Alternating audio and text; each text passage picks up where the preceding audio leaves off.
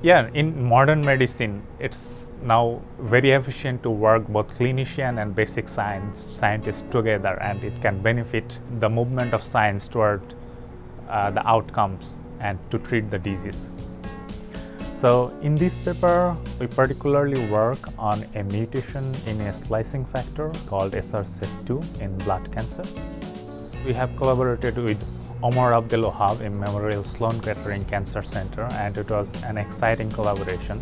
He has particular expertise on uh, blood cancer and the disease biology and we have expertise on basic science on splicing regulation and it was very nice to complement each other to understand the disease mechanism. We found that mutation in a splicing factor, SRSF2, it reduces important proteins in the blood cancer pathway. So those are important for normal blood cell productions. So now that we know the mechanism of this disease, going forward we will try uh, targeted therapeutic strategies to circumvent from this disease.